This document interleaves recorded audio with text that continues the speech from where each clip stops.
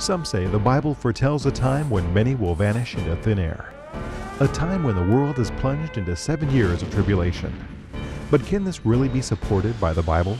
Join us as we take a look at Left Behind Fact or Fiction. Hi, I'm Mark Finley. Welcome to another in our Left Behind No More series. Thank you for joining me here on Three Angels Broadcasting. I have a question for you. Simply because something has been taught for centuries, does that make it true? You know, scientists for a long time believed that the earth was flat. Did that make it true? Scientists for a long time believed that the whole universe revolved around the earth. Did that make it true, even though those scientists had powerful credentials behind their names? It was much, much later in the Middle Ages that a free thinking Pole by the name of Copernicus came along, and he said, The earth is not the center of the universe. The earth is not the center of our solar system, the sun is. And the earth is actually moving and it revolves around the sun. Copernicus was ostracized for introducing that new idea because something had been taught for centuries. It must be true merely because something has been around for a long time doesn't mean it's true. Because something is popular doesn't mean it's true. Because thousands of people, tens of thousands of people, millions of people accept something, it doesn't mean it's true. On this program today, you may be in for some astounding surprises as we study the Bible together. My topic today is the Antichrist, the tribulation, and deliverance. Let's take a look at the sequence of events that lead up to that great event, the second coming of Christ. Let's cut right to the bone. Let's look right at the heart of the question and ask ourselves what is the issue in the final crisis between good and evil? What's the issue in the great controversy in these last days of Earth's history? When you really look at the issues that are involved in what it means to be a Christian, the central issue is worship. If you look through the entire Old Testament, to be a follower of God, the central issue was worship. In the days of Egypt, when the Egyptians took the Israelites as slaves, the central issue was worship.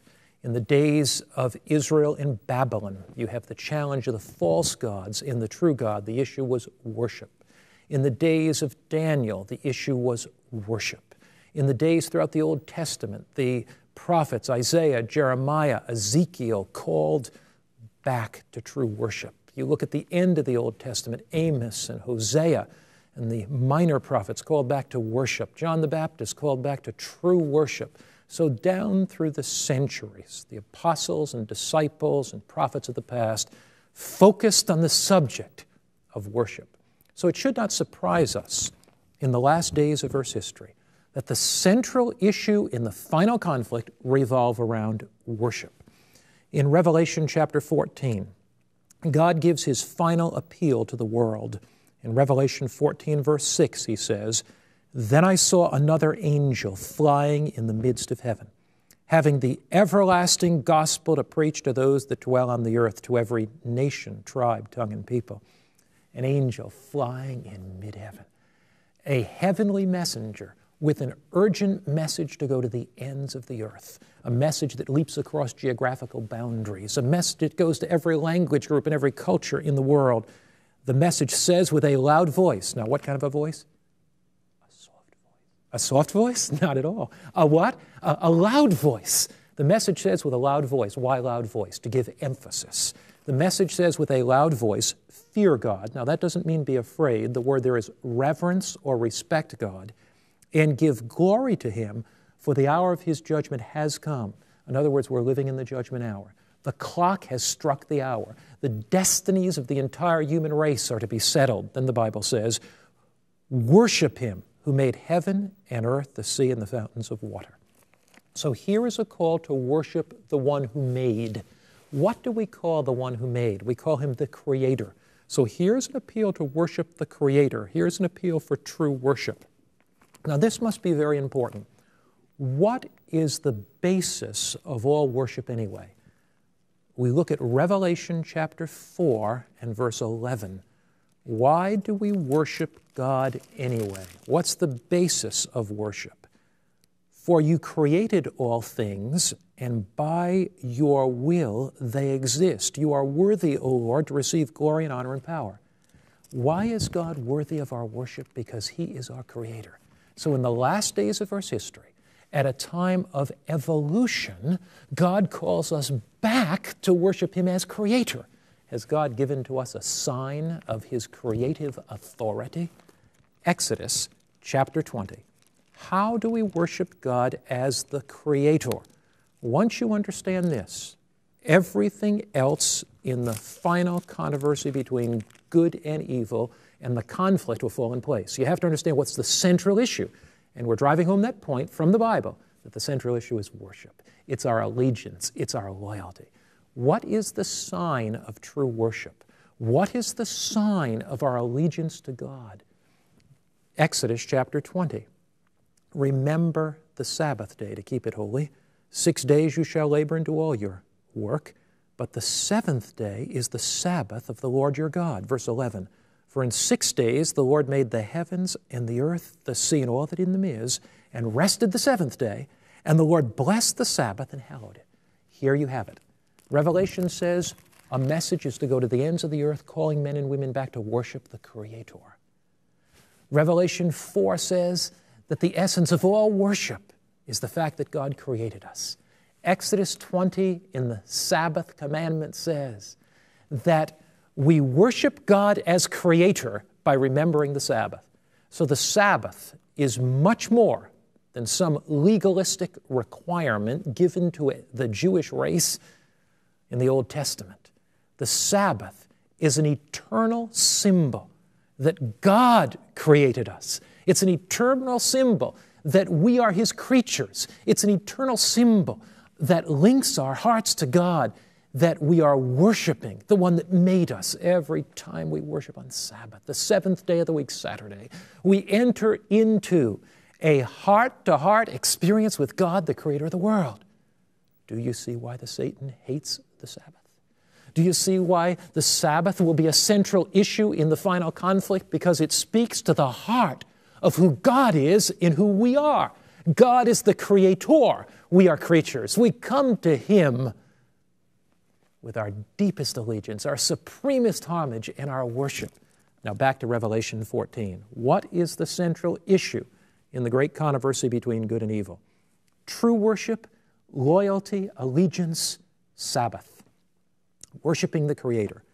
But there is a contrast in verse 9 given. Then the third angel followed them, saying with a loud voice, If anyone worships the beast in his image and receives his mark in his forehead or in his hand, he shall drink of the wine of the wrath of God, which is poured out full strength into the cup of his indignation. So on this hand, we have the God that created us. We fall at his feet to worship him. On this hand, we have a false worship called worshiping the beast. So here's worshiping the creator, and here's worshiping the beast. Now, where does this central issue find its heart? Where is the center of conflict in the issue of worshiping the creator and worshiping the beast? What's this all about? Revelation 14, verse 12 tells us it says, Here is the patience of the saints here are those that keep the commandments of God and the faith of Jesus. So the central issue is the commandments of God, and the central issue has to do with that specific commandment doing, dealing with worshiping the Creator of the Sabbath. So the Sabbath becomes part of a worldwide controversy at the time of the end. The whole human race is called to loyalty to God. It's called back to worshiping this Creator God. It's called back to allegiance to Him, and the Sabbath is the symbol of that creation. On the other hand, there is the beast power, the Antichrist power, who's tried to change God's law. Are you aware of the fact that the Bible actually teaches that the Antichrist power would rise and attempt to change the very law of God? Are you aware of the fact that the Bible teaches that there would be an attempted change in God's law by man? The Bible actually predicts that. Let's look at it. Let's discover this amazing attempt by man to change the very law of God. Daniel chapter 7, verse 25 says that a power would rise that would think to change the times and the laws. A power would arise, and it would think that it had the authority to change the very law of God. What power is this that would think to change the very law of God? What power is it that would arise, and where would this power come from? Now, before we go on, we need to pause and go back to the Bible and look at Daniel, the seventh chapter. And here in Daniel chapter 7, we're going to discover just who this power was. We're going to discover how this power tried to change God's law. We're going to discover the identity of the Antichrist power according to the Bible. Now, let me remind you the word Antichrist doesn't mean against Christ. There are some that think the word anti means against. Anti also means another. So when one claims the privileges and prerogatives of God, that one becomes another Christ. They try to take over or assume the position that is only Christ or only God's. In Daniel, the seventh chapter, the Bible describes the rise and fall of empires in the imagery of four beasts. Daniel 7 and verse 1 says, In the first year of Belshazzar, king of Babylon, Daniel had a dream and visions of his head while on his bed. Then he wrote down the dream, telling the main facts. Daniel spoke and said, I saw in my vision by night, and behold, four winds of heaven were stirring up the great sea and four beasts came up from the sea, different from each other. Now, here Daniel saw a windy seascape, and he saw four beasts come up out of the sea, different from each other. Now, what does a beast represent in Bible prophecy? In Daniel 7 and verse 17, the Bible says, Those great beasts which are four are four kings which shall arise out of the earth. So the four beasts are what? Four what? Kings, or, verse 23 says, Thus he said, The fourth beast shall be the fourth kingdom on the earth, which shall be different from all other kingdoms. So the Bible talks about four kings or four kingdoms. A king or a kingdom is interchangeable. There'll be four kingdoms that would arise. Now, notice we're going to study these four kingdoms. The four kingdoms are represented as beasts. The first was like a lion that had eagle's wings. The first beast, or the first kingdom that would dominate the earth, would exist in Daniel's day. What nation overthrew Jerusalem that was ruling in Daniel's day? And was it symbolized in both history and archaeology as a lion? The nation of Babylon overthrew Jerusalem. And Babylon is represented as a mighty lion. Jeremiah says, Babylon, you are a lion's whelp in Jeremiah chapter 51. Archaeologists uncovering Babylon. And incidentally, the modern country of Iraq is the country that Babylon was located in. And uh, the city of Babylon was located probably 90 or 100 miles south of Baghdad. As archaeologists have uncovered the ruins and remains of Babylon, they have discovered a lion with eagle's wings as a motif or symbol on the walls. They've discovered as well lion with eagle's wings in some of the old coins of Babylon. They have discovered a basalt lion with eagle's wings. The Bible says that another beast would rise, and the Bible describes that in Daniel chapter 7 and verse 5 as a bear. This bear has three ribs in its mouth. The nation that overthrew the Babylonians was Medo Persia.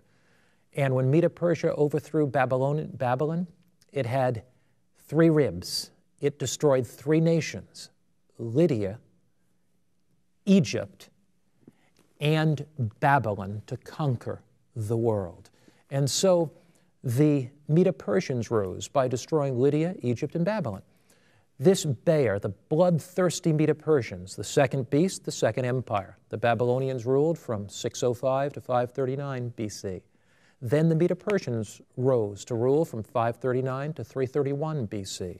The third beast arose, or the third empire, and it describes it here in the Bible. It says, Daniel 7, verse 6, After this I looked, and there was another like a leopard, which had on the back four wings, and it had four heads. If you wanted to describe rapid conquest, what beast would you choose? A leopard. If you wanted to describe rapid, rapid, rapid, rapid, rapid, rapid conquest, what would you do with your leopard? You would put four wings on it. And so God put wings on the leopard to describe the rapid conquest of Alexander the Great of Greece, who overthrew the Medo Persians. Greece would not rule forever. A fourth beast arose. Verse 7 dreadful, terrible, exceedingly strong. Babylon was overthrown by Medo Persia. Medo Persia was overthrown by Greece. Greece was overthrown by this fourth beast of what? What nation overthrew Greece? You're exactly right, it was Rome.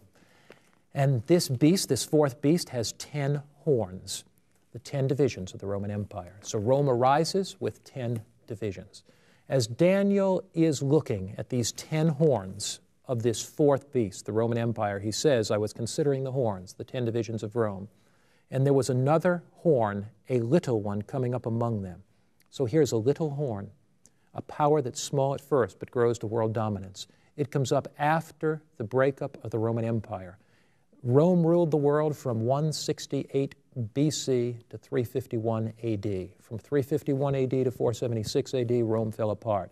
Sometime after 476, a power would arise that power would arise by destroying, according to the Bible, three of the horns, or it would destroy three of the divisions of Rome. So we ask ourselves the question what power grew out of pagan Rome? What power, as it grew out of pagan Rome, came after the breakup of the Roman Empire? What power grew by destroying three horns? It says, In this horn were eyes like the eyes of a man. Eyes in the Bible are a symbol of wisdom. According to Ephesians 1, verse 18, the Bible talks about the eyes of understanding. This power does not have the eyes of God, it has the eyes of a man. What do we call a prophet? A prophet in the Bible is called a what? A seer. Why is a prophet called a seer? Because a prophet sees not with human eyes, but with God's eyes. So, this power that comes up out of Rome doesn't have divine wisdom. It doesn't see with the eyes of God, it sees with the eyes of man. So here's a power coming out of Rome that is based on human wisdom. The Bible then goes down further in describing this power in Daniel chapter 7, and you'll notice verse 20. It says about the ten horns that were in its head, and about the other horn that came up that had eyes. It spoke pompous things it says, I was watching, the same horn was making war with the saints. So here's a power that speaks proud things against God. It asserts its authority above God. Here's a power that persecutes those that don't go along. And the Bible says in Daniel chapter 7 and verse 25 that this power would think to change the very law of God. He would be, verse 24, the last part, different than all other powers. Now, this is quite amazing. Here's a power that would grow after the breakup of the Roman Empire, after the ten horns were, ten divisions of Rome were destroyed. Here's a power that would grow up out of pagan Rome. Here's a power that would grow up after the Roman Empire went down. Here's a power that would be different from all other powers according to the Bible. It would be religious and not political. So we're looking for a religious power that grew out of Rome. This power, according to the Bible, would think to change the very law of God. And that change would be the center of a controversy between good and evil.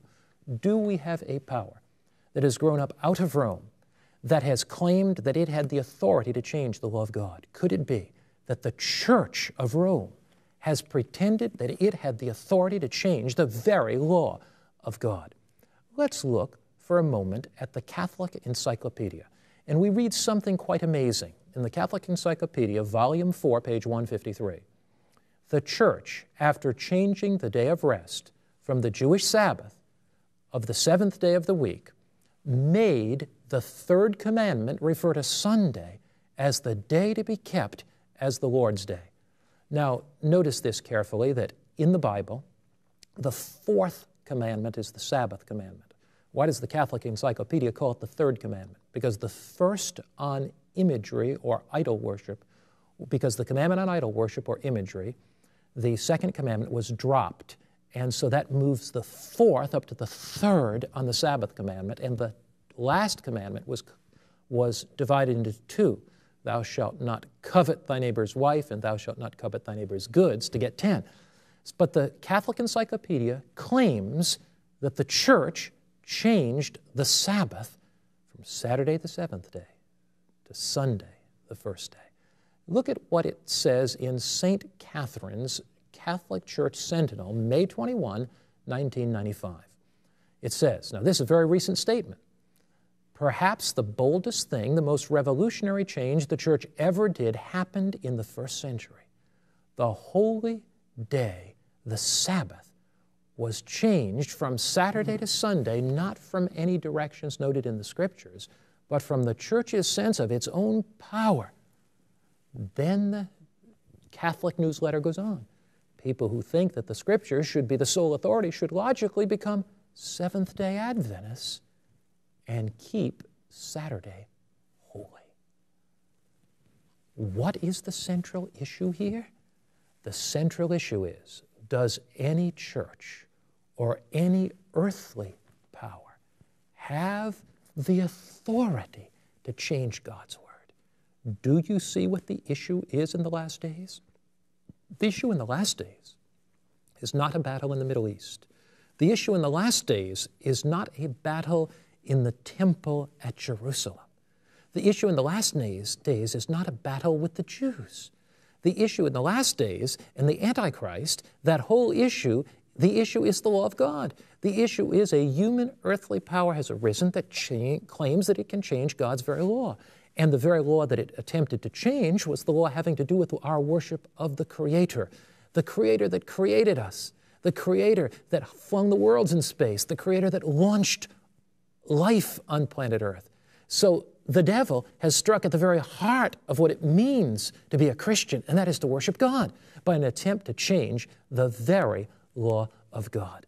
Notice this statement that is a very clear, plain statement by Cardinal Gibbons in the book The Faith of Our Fathers. He says, You may read the Bible from Genesis to Revelation, and you will not find a single line authorizing the sanctification of Sunday. The Catholic cardinal says that there's nothing in the Bible authorizing Sunday. Now, I recognize, friends, that there are many honest, Bible believing Christians who don't understand what the final issue is at the time of the end. I recognize that there are many honest, Bible believing Christians who love Jesus and worship on Sunday. But God is sending a message an earnest last day message, and the devil has given us a diversionary tactic. The devil has caused millions of people to think that the mark of the beast has to do with a world leader who arises out of the UN and, has to, and tries to have one central world government, and that there's something to do with the rebuilt temple in Jerusalem.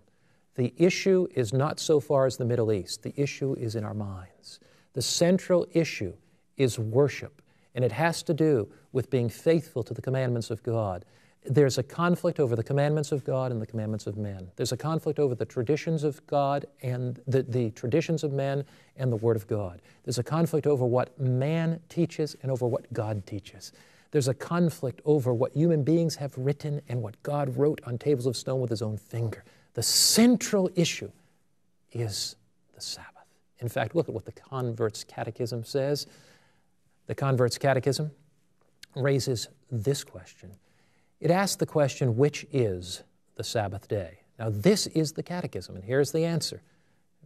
In the Convert's Catechism, written by Father Peter Geiermann in 1948, it says, Which is the Sabbath day? Saturday is the Sabbath day. Next question in the Catechism says, Why do we observe Sunday instead of Sabbath? answer in the Catechism. Now, this is the Catechism. You, these things are documented because the Catholic Church transferred the solemnity from Saturday to Sunday. The church changed the day, but what does the Bible say? Notice Psalm 89, verse 34. I will not break nor alter the word that has gone out of my lips. So God says that He is not going to alter the word that has gone out of his lips. And today, God is appealing to us to keep his Sabbath. The central issue in the final conflict is the commandments of God. Look here in Revelation chapter 12 and verse 17. The Bible tells us in Revelation 12 and verse 17 the dragon, who's that? Satan, was enraged. What's that mean? Angry. With who? With the woman. In Bible prophecy, the woman is pictured as the church, if she's a pure woman. A harlot woman is pictured as the fallen church. But here the Bible says the dragon, Satan, is angry with the woman, with the true church, and goes to make war with the rest of her offspring who keep the commandments of God. In the last days of Earth's history, God is going to have a people that love Him so much that they keep His commandments. These commandments are not legalistic requirements. These commandments are not commandments given by a God that wants to restrict our freedom. These commandments are symbols of love that we have with our Creator. And the heart of that Ten Commandment law is the Sabbath. In Revelation 14, verse 12, our Lord tells us, Here is the patience of the saints. Here are those that are faithful. Here are those that hang on. Here is the patience of the saints. Here are those that keep the commandments of God and have the faith of Jesus. God will have a group of people that have faith in Jesus, a group of people that love Jesus, a group of people that want to obey Jesus, and they keep His commandments. And the Sabbath is the center of that commandment keeping people. Revelation chapter 22. It's the center or symbol of their obedience. Jesus is the center of their faith, the Sabbath is the symbol of their obedience. Revelation chapter 22 says, and verse 12, 13, and onward Behold, I'm coming quickly. My reward is with me to give everyone according to his work. Jesus is coming, friend. He's coming soon. And he says, Come. The Spirit and the bride say, Come. Let him who's athirst come, and whoever desires, let him take the water of life freely. Blessed are they, the Bible says, who do his commandments, that they might have right to the tree of life. Christ is coming. He's coming quickly. An antichrist power, a power that grew out of Rome, has attempted to change God's law and substituted Sunday for the Bible Sabbath. The final conflict between good and evil will be over the allegiance of our heart. Will you give the allegiance of your heart to Christ? Will you surrender your life to Christ? Will you make a decision to follow Him all the way and keep His Sabbath as a symbol that He's your Creator and your Lord? Will you do that right now as we pray? Dear Lord, thank you that you called us to worship you as our Creator. We give you our allegiance and our homage and surrender everything to you right now. In Jesus' name, amen.